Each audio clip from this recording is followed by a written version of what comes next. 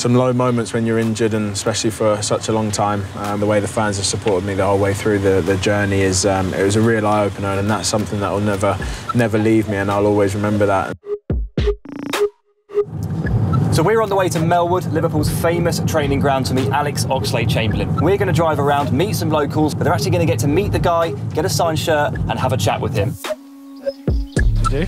You all right? Yeah, good. Right. Going to go and see some fans today. Some lucky individuals. It's a nice sort of personal touch to be able to actually go and see them, and yeah, I can get to meet a few people um, and see the people that come and show so much support for me and, and for the whole team all the time. That's good, Ian, man. Good to go. It's absolutely fine.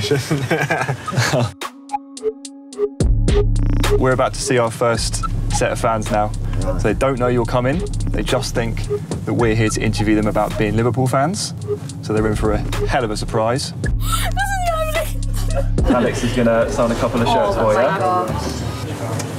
That's amazing. So big fans then Yes. are here. Season ticket holders. Yeah? This one went on the waiting list at two weeks old. I got it when I was 15, so. No way. That is Stand. some weight. Yeah. Good stuff. Well done, mum. Who is the funniest one in the dressing room? Trent's funny. He's quite shy at first. It took me about a year for him to speak to me, and now uh, me and him get on like house on fire, and he's a very funny lad. Best dressed. Best dressed, Virgil can clean up very nicely. When it's an event, Virgil will come looking like Bond. And Divock Origi, he's got a lot of exclusives. Like he comes in a lot of trainers and a lot of trackies, and you're like, where did he get that Nike one from? Like, Yeah. who's your Nike guy? Because my Nike guy's not giving me that. How are you at FIFA? I'm not bad. Not bad. I can cause problems. We'll see though. Done a lot of talking now. I've got to back it up. How you doing?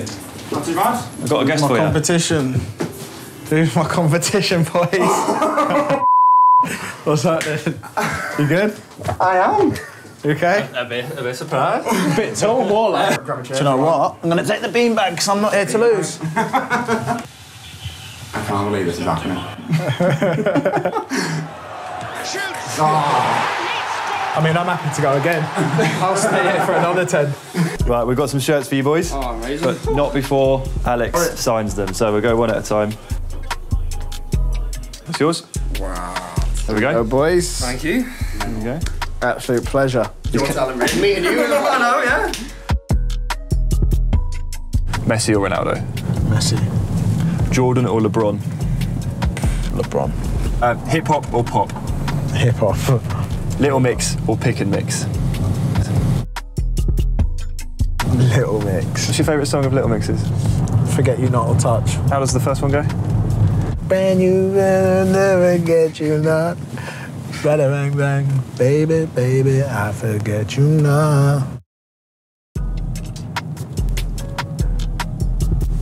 Jimmy's five. They don't know you're coming. Cool. Jimmy! You ain't getting past me. You ain't getting past me, mate. He's off! Oh! Good to see you back anyway. Thank you, mate. Good to be back. Dad used to say how much he used to hate coming and playing Liverpool.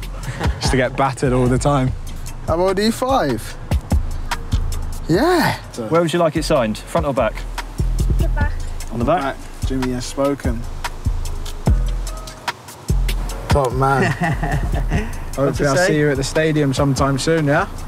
There were there were some really nice people I met there. Um, very passionate about the club, but that's kind of the way it is around here, which is which is why it's so special and such a special fan base. So thank you for that. Top man, Nice thank one. you. Cheers. You've done all right yourself. You've done all right yourself.